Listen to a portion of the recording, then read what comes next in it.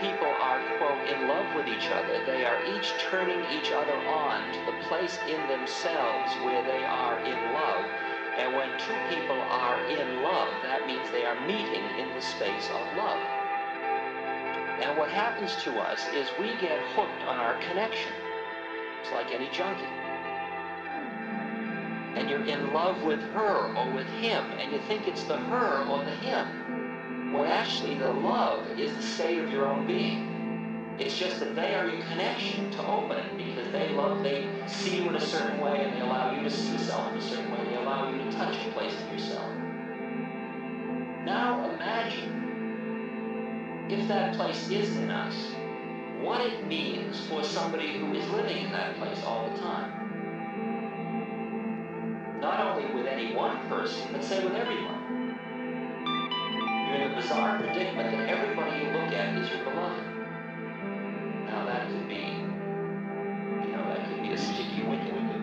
Like, what are you going to do with it with everybody? When you get on a bus, you walk down the bus, you look at it.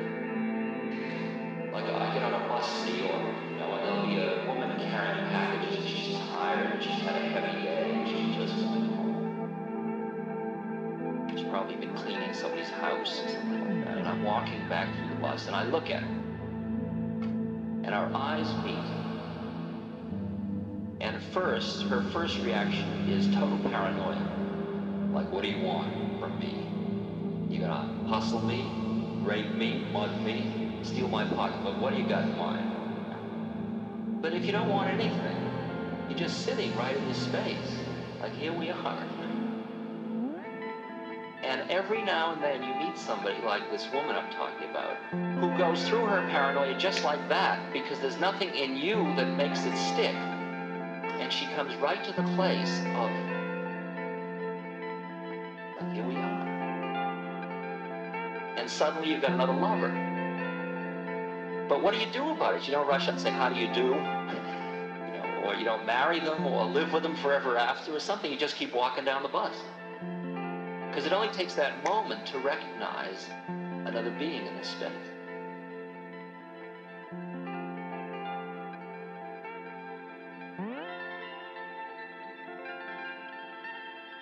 And a, a conscious being is is that space, is that space, is like a beloved, is like a being sitting there in love with you. Attachment, no conditions, not conditional, and not I'll love you if you're this way or that way. Just love. And it's a very incredible thing to come up with somebody towards somebody who's an unconditional lover. Because all of us are conditional lovers, I assure you. There are limits under which we will not love. We all are protecting our separateness. Now, isn't this being that I'm talking about protecting his separateness? No, because he isn't that at all. He isn't on channel 7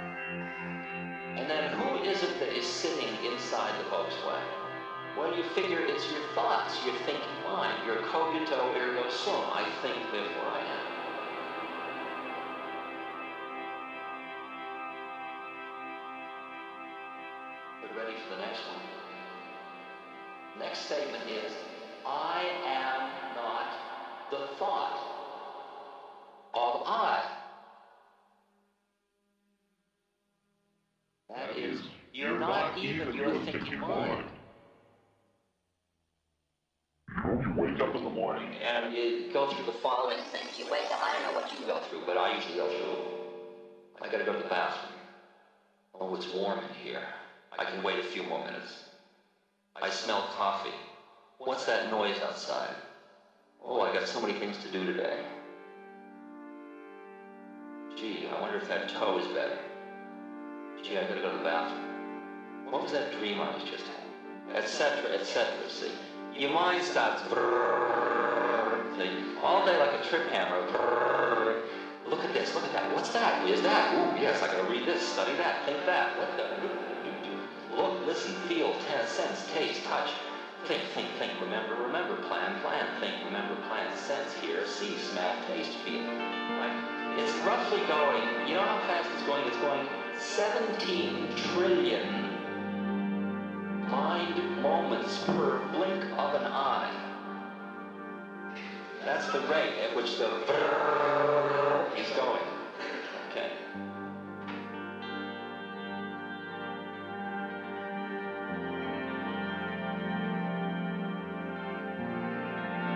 And it's like a total tyranny.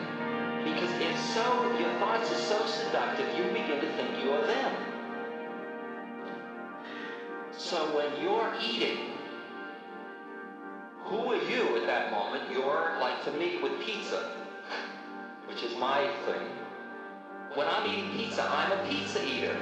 You came to me and said, excuse me, sir, could you tell me who you are? I'm, I'm a pizza eater at that moment. That's who I am.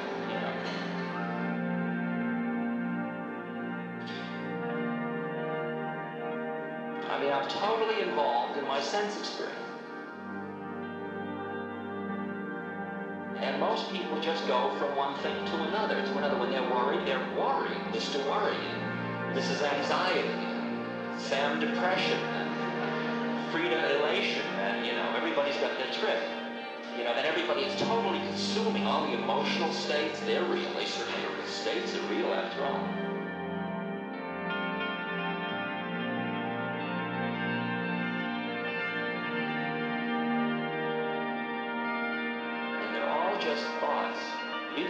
Said, our thinking mind is a wonderful servant, but a terrible master. It's great to have that mind available to do all the stuff it does, but it's terrible to be caught in it, so you can't stop thinking. Do you ever notice you can't stop thinking? Now, the funny thing is that you can't stop thought, but you can stop thinking. It's like you don't stop the hamburger machine, but you can stop eating hamburgers. Machine keeps going on. It's just running on. It's just totally mechanical. It's totally mechanistic. If you give a strong stimulus there, it'll point. If you stick a needle in there, it'll attend there. It, it'll always go. There are total laws as to where the attention goes, how it goes to this thought and that thought and so on. It's all mechanistic. And that mechanistic thing goes on completely, and behind it all,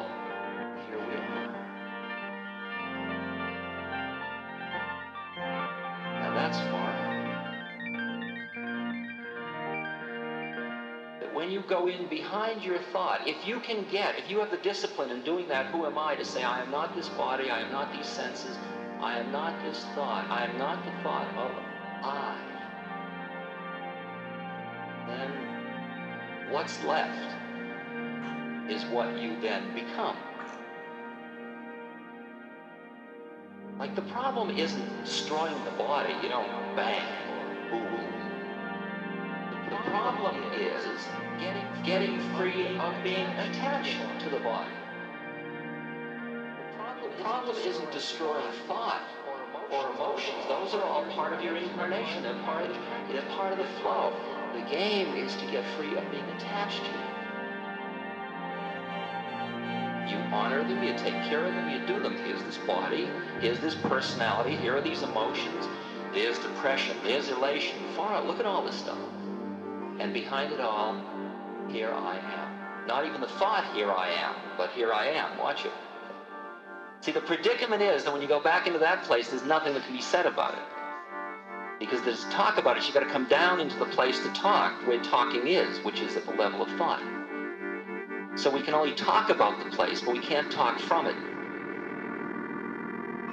Because oh, another way of saying it here, here I is. Or isness is. Isness is, is, is, is, is. Now, what are the qualities of a being who has extricated themselves from being caught in the particular illusion we were born into? Because everybody in this room, the quality of us on this plane is we all took a human birth on the physical plane, a physical, psychological plane, set of planes. And the reason we did this was because we had certain desires. And those desires made it necessary for us to take birth here. And we will keep taking birth here and keep staying stuck here until we awaken to our own predicament, which is what is called awakening, strangely enough. And as Gurdjieff says, you can't Once a person has started to awaken, you can no longer make believe you're asleep. You can make believe you're asleep, but you can't get back to sleep fully. Like once the process has started where you recognize what your predicament is, what you recognize what you're doing in this body and in this mind and in these emotions, you can't make believe you didn't recognize it. In other words, once you've started to awaken into the being, you can't go back to being a pure pizza eater again. You see, you sit down and you start to eat the pizza, and you're, mm, and then a voice says, eating pizza. And that voice isn't saying you're bad or you're good, that's more stuff. It's just noticing. It's a place inside that's like a huge eye. It's a single eye it's one eye that's a big witness, and it's just noticing your whole life dance. Eating pizza, depressed, trying to get holy, lecturing, itchy. It's noticing it all. It's not attached. It's not trying to change anything. It's not trying to get you high or anything. It's just sitting in there. It's always been sitting in there. And slowly, and process is this kind of irrevocable thing that starts to happen to you where more and more you develop this place in you which is just sitting, noticing how it all is. You know how when you have a game you played as a child and then you get so old and the game loses its savor? and you play it with a kid and the kid gets completely lost in it, but you're just sort of sitting playing it. Well, that's sort of what starts to happen in life. You go on doing it alone. But you're sort of sitting behind it. They talk about the candle being put in a niche in the heart where the winds of desire no longer make the flame flicker. Which is both horrible and beautiful. Because to the extent that you have a romantic model of yourself and the world that you are trying to retain, this is hell. Because a romantic wants to keep the and the oh, mm, and the oh, don't you? You want a few more rushes out of life? What happens if every pizza is like every other one? And it's all beautiful or horrible or everything, and it's all here, and here we are, behind it all. Just right, you here, I'm here, far out in the. It's called the horrible beauty.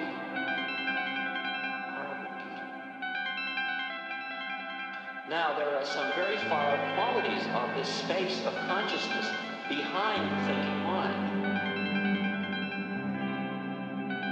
that uh, are certainly are worthy of notice.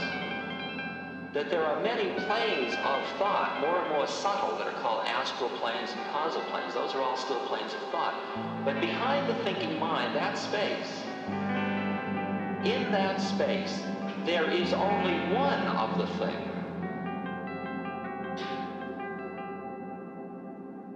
That is, there aren't many beings because many would already be more thought, more stuff. There's only one of it. So the far out thing is, and this is straight on as far as well as I can understand it at this point, and my experiences corroborate it as well as I am in development, that if you go in yourself far enough back, not only do you and I meet if I go back in myself far enough, but there's only one of us. There's not even two of us. It's not hello, you there. It's hmm. well, whatever one says to itself. It doesn't say anything to itself, actually. Because it doesn't know itself. Because it just is. Like when you get far enough back in, you can only be, you can't know anything. Because knowing already takes an object. You gotta know something. But when you go back to this one, you're just sitting as one. Pretty strange. And can you imagine the possibility that in every one of us is this one, which in Hinduism is called the Atman. And that this one, which is like a sun, reflects from inside out through these veils and veils and veils and veils of thought and identity and concept and all this stuff, and they end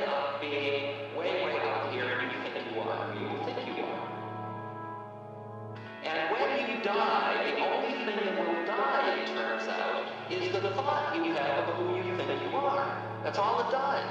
Isn't that bizarre?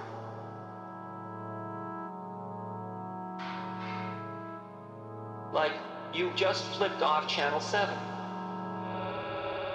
And you die, and now here I am on channel 5. Carl, lose my body? Or do you get this other body? You had it all along.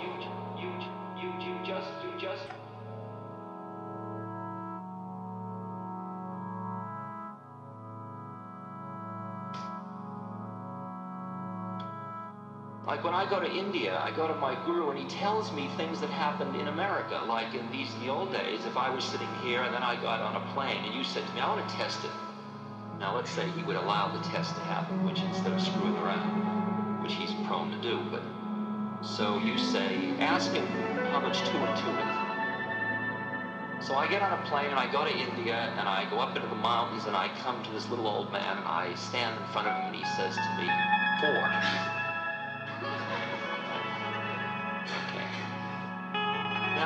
Did he know that? How do you suppose he knew? Did he just read my mind? Let's say I wasn't even thinking. I forgot all about my assignment. I was just blown out by being at his feet. He says, four. I say, what?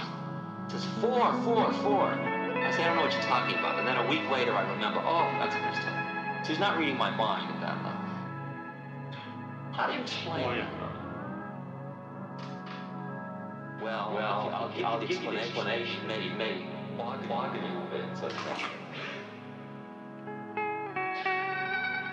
back into that place behind thought, behind all the planes of thought. Now, there is another quality about that place. It is behind time and behind space. Because those are matrices that exist on these planes where thought is. So where he is, past, present, and future, and here and there, all are. Not only all are, but he is. It is so far out that he is literally the number four in your mouth. It's the same thing that is if you experience something in your arm, you're experiencing it within what you call yourself. And all of this, the entire universe, would be within himself if there were a demarcation at all. Now, it isn't the guy in the blanket in India that is that one. You realize that? That's only the package on channel 7. Happens is often you get hooked on the packages. Oh, package, I worship you. You know, your plastic is so beautiful and your labeling is so great and all your seams are wonderful. And you worship the package and you pray to it and you sing to it and you rub its feet. Oh, holy package. And after a while, you get to the recognition that that was only the package. You've just been hustled again. Behind the packaging, behind that next packaging, behind that next packaging, as far as you can see, you finally come to the place where when you can see it, because you can see it inside, there's only one of us. So you end up, what you were doing was worshiping yourself. That's pretty fun. But it's not you as opposed to somebody else, because there's only one of it. They say in India is it turns out that God, Guru, and Self are all the same thing. So you enter into a path in which you are a pilgrim on a path to come to God. When you finish the path, you realize that in fact there really wasn't any goal. There wasn't any path, and there wasn't any pilgrim. Now I say there wasn't any because when you enter into that one, now imagine planets, for example, two planets. There's a little one and a big one. And the little one's coming towards the big one. Now at that point there are two. And so the little planet says, I am going towards the big one. You're going towards the one. Now let's say that this little one just goes and merges into the one. Now, inside the one, what is it like? Is the inside of the one saying, I am one? No, inside of one, there just is. There's no one or two, there just is. Is what? Well, is nothing. Or is everything. Now the game's getting even farther, if you don't mind my taking you out a little further. Because the predicament is, and this is the predicament of Buddhism, that all form, even the one, is another illusion. And in fact, nothing ever happened at all.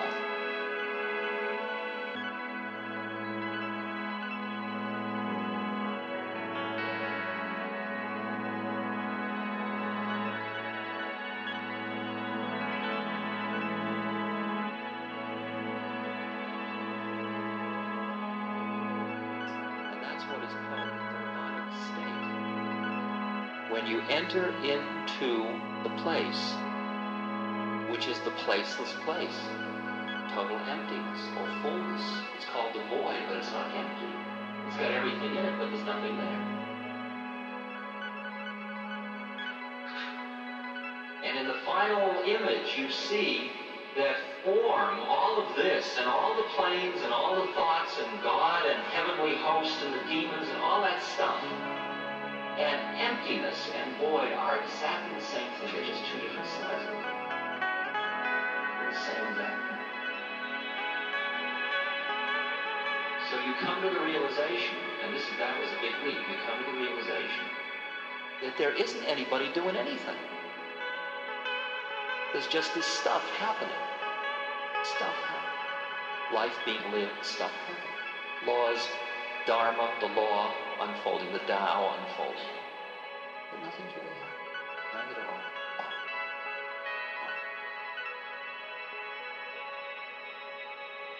So now you begin to sense what becoming enlightened is about.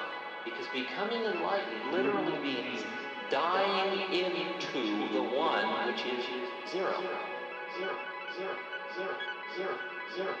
Which in fact means that when you become enlightened, since you never become enlightened, since you think you're somebody, when you give up thinking you're somebody, then what's left is enlightenment. That is, you can get right up to the door, but you can never go through the door. See, that's the terrible predicament of people that are on the spiritual path. Because they get really good, and I've gotten holier and holier and holier, and I'm nearly going to get through the door. And you get right up to the door, and they say, uh-uh, you can't go through. What do you mean I can't go through? I'm pure, I'm pure, I'm pure, I'm, I'm thinking only of God, I'm holy. Yeah, but you're still you. You, you, you. And there's only room for one on the other side of the door. Sorry, you're going to leave yourself behind. Well, what's the fun of going through the door? Ah, there's the rub. Well, I think I'll stay on this side of the door for a while. I'll enjoy being right next to the door, okay? And that's where most people sit for incarnation after incarnation after incarnation. Because it's so nice to be nuzzling up against the door, but still be something. Incarnation, incarnation. And you get really good at it. I mean, this isn't gross stuff. This isn't, I'm near the door. It isn't that level. I mean, like my Aldous Huxley, very dear friend. Alan Watts, lots of friends, people I know who I admire and respect. Gerald Heard is people of very high spiritual development.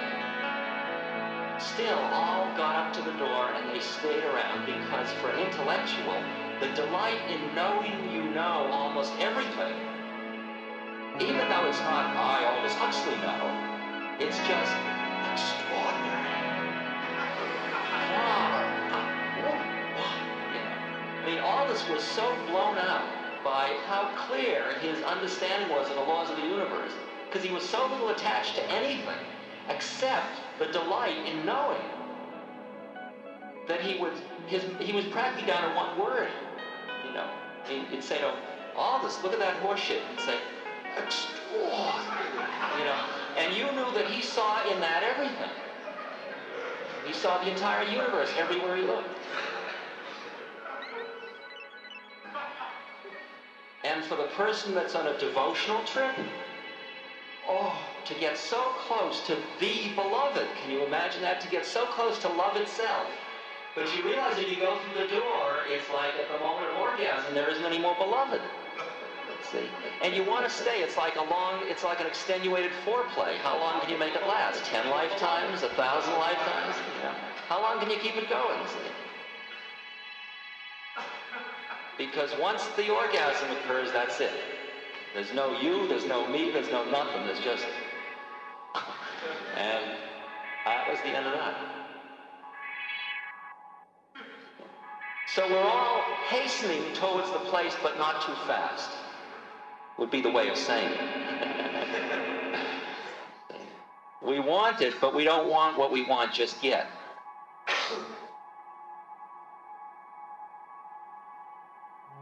But in the meantime, for most of us, there's still plenty of stuff to do before we nuzzle up to the door.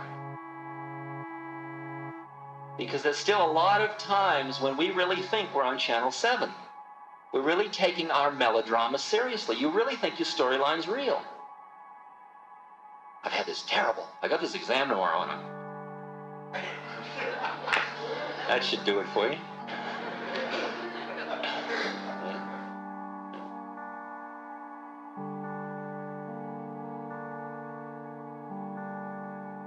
It's like I can say to you, but many of you can't hear it, but I can say to you that as I sit up talking to you, the statement I am sitting up talking to you is a total lie. That's part of that which is sitting up talking to you. And if I was sitting in my camper meditating, it would be exactly the same space I would be in as sitting here talking to you. That is, it's like a movie going by, if you will. There's talking to. There's empty. And what is watching the movie is just sitting. And the interesting thing is that even the watcher is starting to disappear. Which means more and more of the time there is less and less of anything. At that point, there just becomes function. My guru is that there is nowhere where he isn't, and there is nowhere where he is. That is, there isn't anybody by our definition of somebodyness. There's a body, but that isn't what it is. But the body is fulfilling a function. And it's got a personality, and that's filling a function. And can you imagine that your personality and your body are all parts of your package and they are who you are? See, like people say to me, uh, is therapy good? Is it useful? And I say, well, it's fine as long as your therapist doesn't think they're a therapist. Because if your therapist thinks he's a therapist or she's a therapist, then you have to be a patient. Because in the room, there's only room for two of you. I could say it even more profoundly. If your therapist thinks personality is real, watch out. Because he's going to get you thinking personality is real. And all he'll do is help you substitute one ego structure for another one.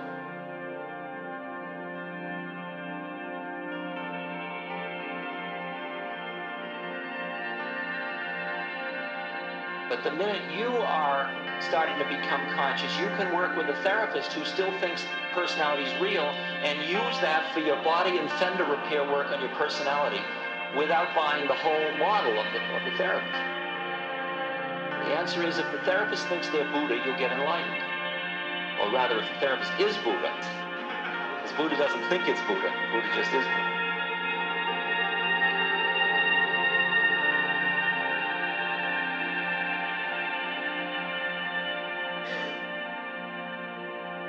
Which leads to a bizarre conclusion, by the way, about how people change in relation to one another, which is, I'll lay it out, although it may be hard to buy in. What you do for another human being is share your being. That's all you do. The stuff you think you are doing is just stuff you think you are doing. Now, this is a tricky one.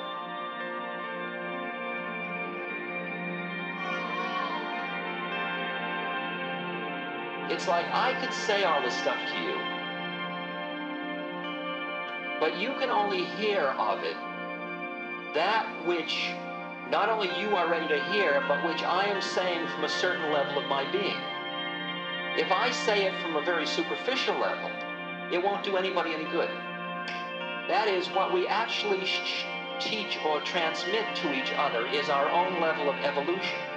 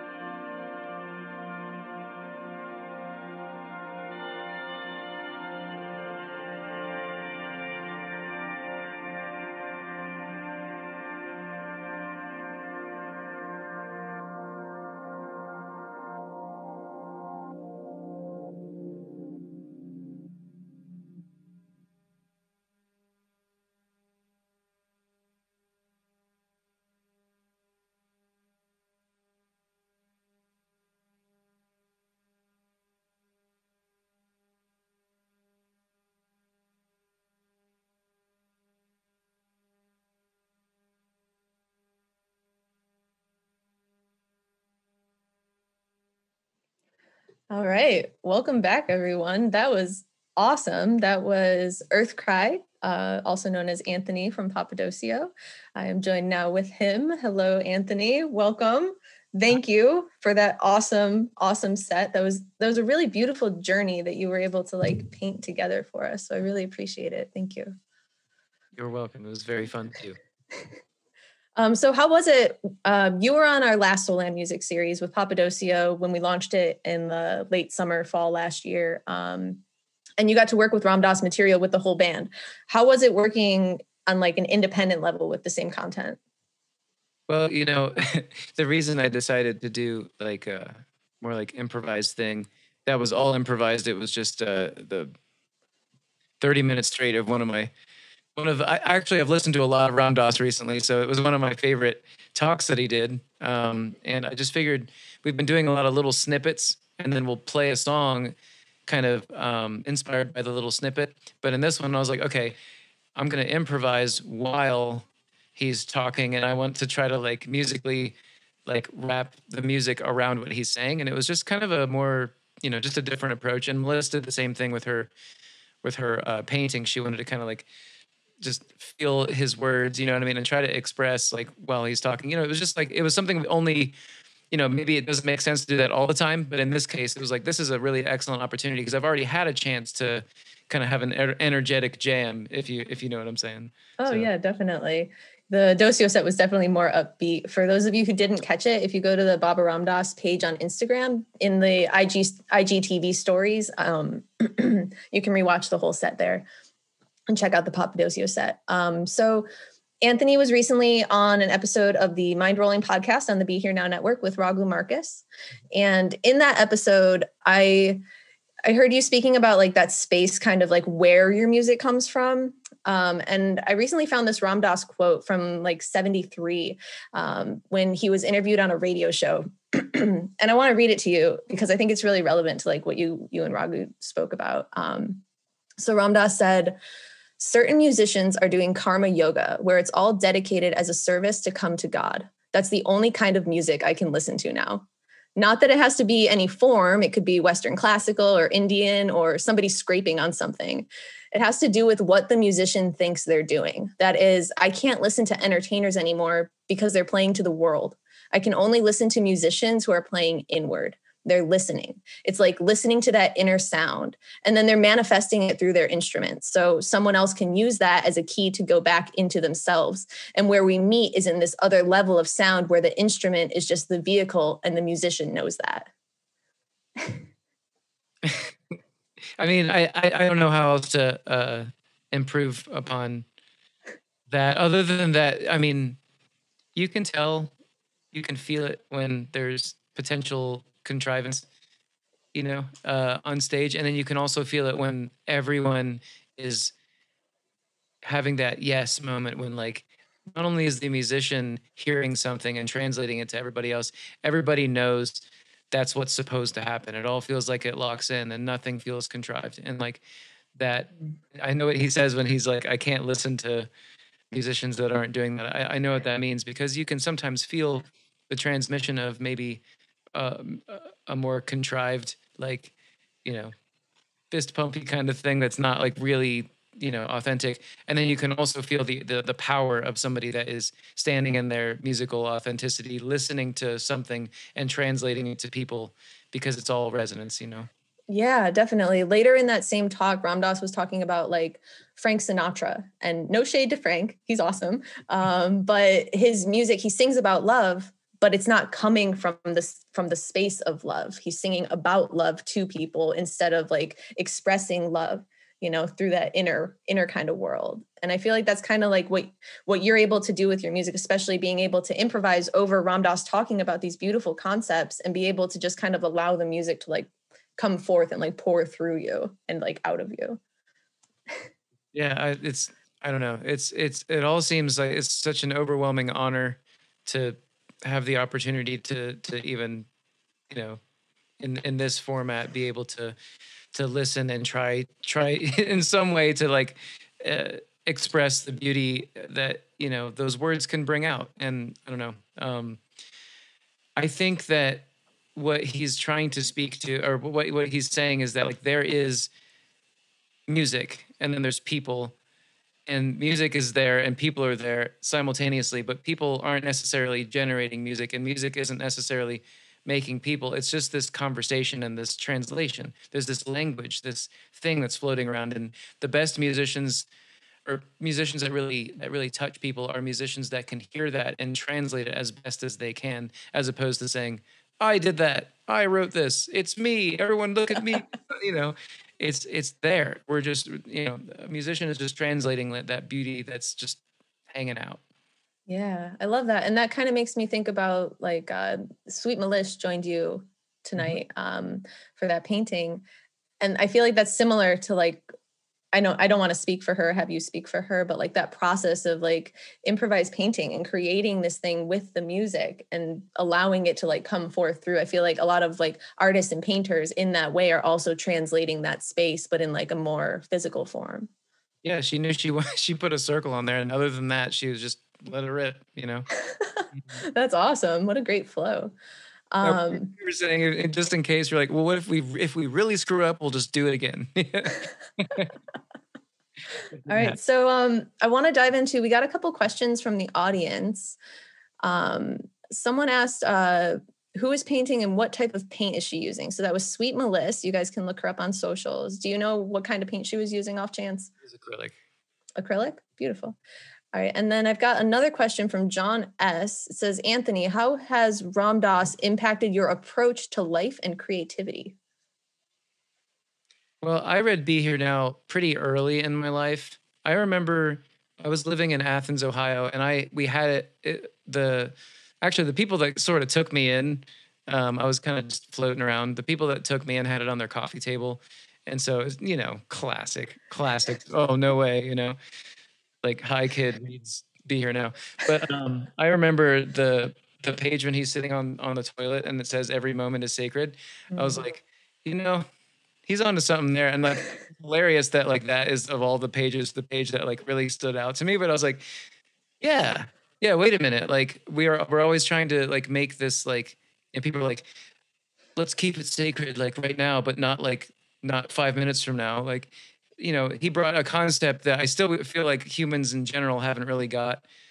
Um, that like sacredness is Mm. every all the time or it's not you know what i mean it's it's not this thing where you're like you know this is sacred and that's not you know like i i just think that if you can walk around like thinking that like you know the screwdriver is also sacred or nothing is um it's just like something that you, you can you can take with you and it's like a gift and then you can all of a sudden everything that you however you express yourself is a gift and you know yada yada yada. It all it, it all like started pouring out and i think like um i wanted to try to approach my life and the music that I make and and and all that with a renewed sense of trying to inject a little bit of that thought into everything I do and it can be funny and it can be on the toilet but it can also be like the best thing ever you know and it can also be a gift so I don't know if that came through in the way I mean I'm uh, yet again I, that's why I don't sing as much as I play guitar but you know what can I. I totally get that. I feel I feel really similar. Um I have this uh this kind of notion in my head. I watched um The Lion King again a couple years ago and uh there's this you know the moment where uh Mufasa takes Simba up to this big rock and they look out and he says Mufasa or he says Simba um remember everything the light touches is our kingdom. And that like hit me that day when I was watching that movie. And now every time I look outside, I try to look for like where's the light touching? Like how is it dancing on the leaves? How is it dancing on like this gruddy sidewalk that this like plant is miraculously growing out of? Like how can I use the light, like physical sunlight as a way for me to remember that like infinite well of light that's inside of me, you know, like keep that connected. It's just one of my personal tools, I guess. yeah the light the, the you know the light touches everything and I, I think we really want we want it to touch only the beautiful things. We want this beautiful thing is what the light touches but the light touches everything.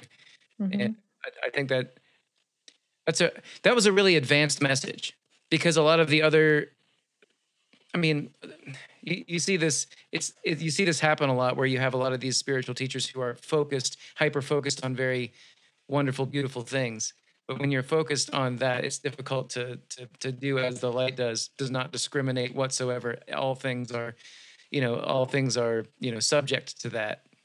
Mm, yeah, definitely. And in the uh, the great words of Wayne Coyne, uh, the sun doesn't go down; it's just an illusion caused by the world spinning round. So even if it looks dark in this moment, the sun it's still over there. Love it. Um, so I've got another question here from Emily S on YouTube. She said, Anthony, while you're out walking, um, while you're out walking among the natural world alone, how do you practice meditation? In what format do you allow your heart and soul to connect, to reconnect? How do you detach? Uh, the answer's in the question. Um, I think that I'm a hyper focused individual, um, to probably a fault sometimes I am so stuck on like some musical idea or who knows what um, that people talk and then I see their mouths move and I do not register because I'm like over here in the woods walking by myself or with friends and we're just being quiet. Like the cadence of my feet and the just how beautiful beautiful everything is and how easy and simple it all is and how wonderful I like to call it original design mm-hmm. is. Mm-hmm. It just it just resets me. And I think, especially this last year being an extremely digital year, probably for everybody, um, I've had this nice dichotomous um, relationship with walking in the, the woods. Mm. I think that everybody should get outside more and do that more, especially alone. It's just something that you know you, there's, there's, no replacement for it. Um, so, yeah, the answers in the question. I just just walking in the woods is is it's a full reset. Mm. If it's you know over three or four hours. And now, speaking of the woods, um, you just put out recently this entire series, uh, musical album and video series, Identity Mitosis. And I can't help but think that a lot of that was inspired from your walks in the woods. I know you used a lot of videos of like clouds rolling over the Blue Ridge Mountains and things like that. I feel like like nature's like played a really big role in the expression of your art and like the inspiration behind it. Would you agree? Yeah, I think my whole my whole life, like like musical conceptual message is trying to tie in like hyper digital crazy synthesis stuff, sound design and things like that with like the the most opposite thing. You know the, the the beauty of just like uh, yet again original design and like what what um what already is. And mm you know and and what's funny is that these things may seem very opposite from each other but they meet if you take them as far as they go they end up becoming each other and mm. yeah identity mitosis is kind of that for me um it's even in the word uh mm. the whole message of it was that your identity or at least the, the the voyage that we seem to be on right now is trying to mitose you know like little cells.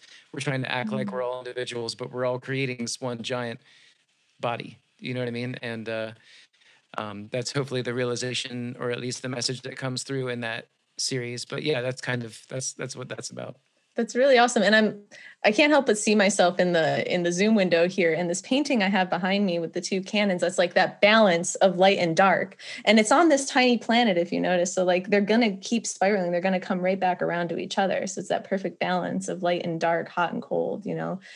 Tat Tvam Asi, like, and that too, like I am that too, I am that too, all of this, taking it all in.